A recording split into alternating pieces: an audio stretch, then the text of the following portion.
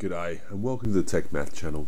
What we're going to be having a look at in this video is we're going to continue looking at some basic algebra, okay, and a few little uh, ways of expanding and factorizing and all these special little things you like that we like you to do in algebra and that sort of deal. And, and it's a really good thing to get worked out. So when you get onto more complex algebra, if you have to do this, uh, it, it's not such a hard thing. So I'm going to go through a couple of uh, rules of what we're having a look at here. So first off, we're going to be having a look at the difference of two squares rule. Uh, also, we're going to be having a look at perfect squares. And we're going to be looking at these, okay? So, first off, I, want to actually have a bit of a look at what is meant by this idea. Well, first off, what we're going to be having a look at roughly is where we've been having a look at these sorts of questions, okay? Where we're trying to expand these sorts of problems, okay? And you might have, if you've been looking at these earlier videos, you might have realised that the answer to this one, you know, we've got x times x, which is x squared. We're going to do x plus 3 and x times 2. So altogether that's plus 5x. And then we have 3 times 2, which is 15. Okay, so we can expand these out. But we're going to be having a look at a little tweak on these and how you can get some slight variations to this. Okay. Now, I want to start out actually having a bit of a look at this idea of perfect squares. So perfect squares.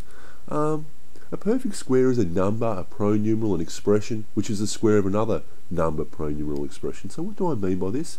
Well, if you can imagine uh, 1 or 4 or 9, these are numbers which are basically the square of another number, okay? So if you can imagine that 1 squared is 1 or 2 squared is 4. 3 squared is 9. Okay, you might actually even imagine this as a square. You might even think of a length and this being an area. Okay, so if we have a length and we had a square, okay, um, so say we had say something like this, as, as hopefully it comes out as a square, something like this, a bit, bit of a rectangle looking square this one, okay, but what we would have is we could have a side length of 2 and a side length of 2 and we've got this area of 4. Now we can use this idea also in algebra because say we have say something like uh, a perfect square would be called say something like uh, imagine if you had x squared. Well this is the same as having the side length I could draw this square once again, of having this side lengths of having x and x. Okay? Or we could have 9x squared. Okay? Where what this is is we had 3x by 3x. Or we could even, okay, so I'll put this down here. We could even go this next step where we'd have this sort of thing, uh, x plus 1 squared. Okay? And if you can imagine this, x plus 1 squared, this is like having x plus 1 times x plus 1. So this is where we have x plus 1 as our side length. Okay, so these were all ideas of having this perfect square. And we're going to be looking at how to play around and how to solve these. A couple of little shortcuts with this. Okay, this is the perfect square shortcuts are fairly uh, similar shortcuts to the one we were just having a look at then.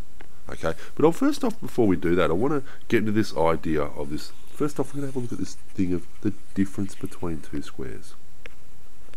Um, now, so say we actually considered expanding this particular expression here. Say I gave you this one here, and it was A take B, and in brackets I gave you A plus B. And I said, okay, I want to expand this here. And if you were to expand this, you would get the following, okay? And this is using that same sort of uh, idea. You're going to start seeing I have a bit of a way that I do these, but we have, I'm going to, I'm going to actually do this the long way. We're going to start multiplying this one by this one, so we end up with a squared. We've got this number, a times b, so plus ab. We have this number by this number, minus b times a, so minus ab and we have this number minus b times minus uh, times positive b which is minus b squared. Okay? And what you're going to realize possibly is that we have positive ab and negative ab these guys cancel each other out. So what we're left with is this a squared take away b squared. And I'll put it up there because what we actually got there is a handy little rule we can actually start to use and I'll, I'll show you how this actually goes okay? Um, so I'll get rid of this extraneous stuff here and just see this particular rule that we're left with here. So say you were asked to actually um, and this this the, the just before I go on what you notice is here we have the difference between two squares. This is called the difference of two squares rule. Okay, we have one square here and the two squares there, so it's called the difference because the difference you work out by subtracting.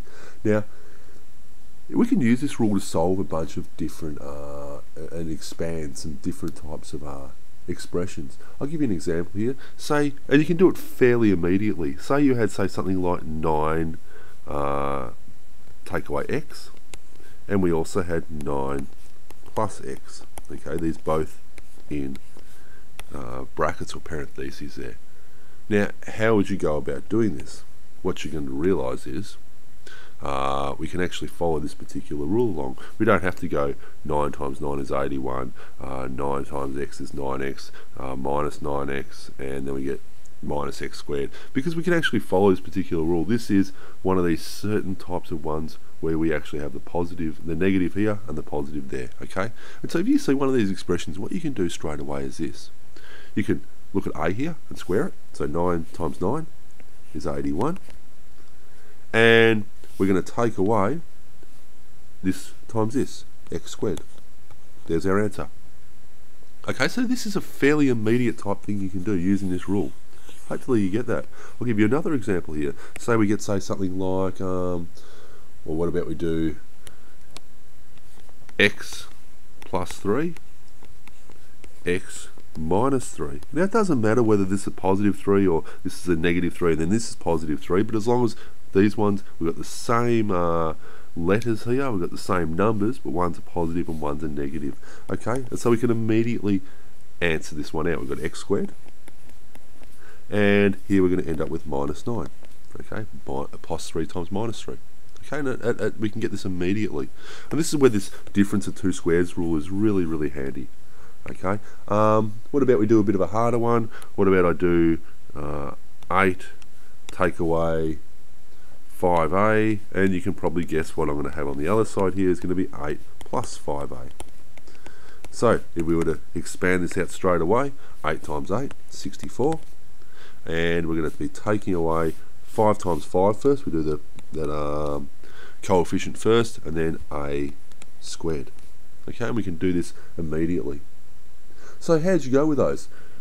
So that's a difference of two squares rule. Now I want to, so that's expanding using that particular difference of two squares rule, and so it's a really, really shortcut way of doing things, which I think you know you want to be able to do fairly quickly. So that's one of the shortcuts you can use.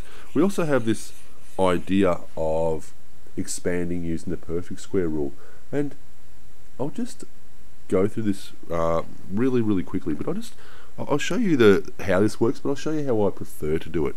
So say you give an expression like this. This is the expanding using the square, perfect square rule. So we have a plus b, and this time we're squaring it. Okay. So we've got this perfect square here, and we want to expand this, which is equal to a plus b, a plus b. Okay.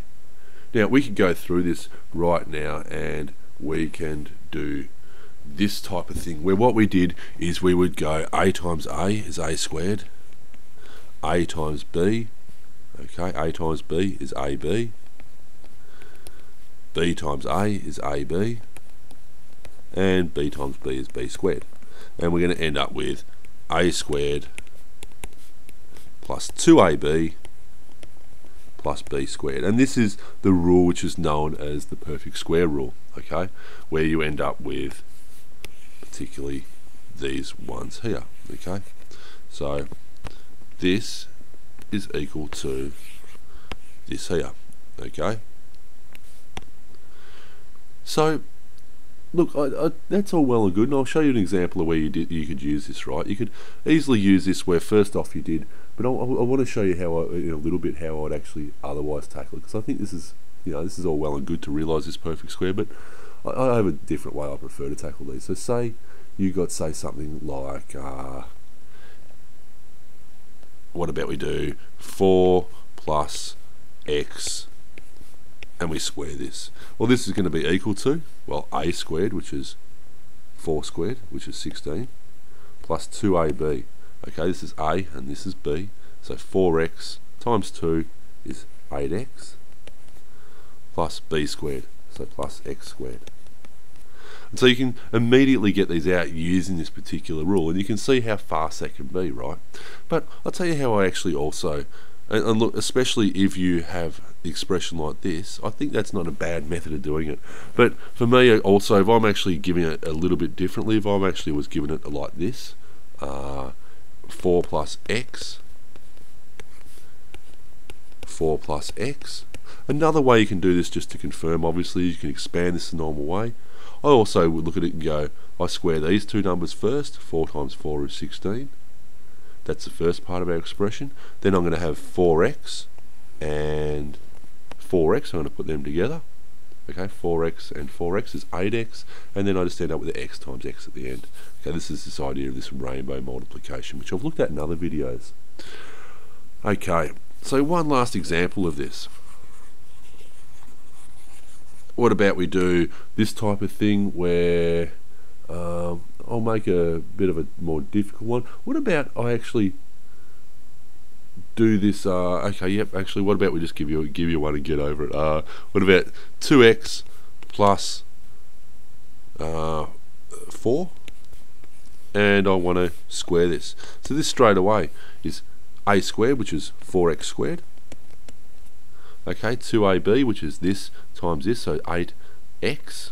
2x times 4 is 8x times 2 is 16x plus, and then plus b squared, which is plus 16. Now, I just want to actually, I just want to go through one last one of these because I think it's we haven't actually gone through one of these where we have a negative here. So say we have uh, this here and we have minus 5 squared equals. Alright, so let's just do this really quickly. 2x times 2x is 4x squared. Min uh, 2 times minus 5 is minus 10x. 2x times minus 5 is minus 10x times 2 is minus 20x and then minus 5 times minus 5 is plus 25.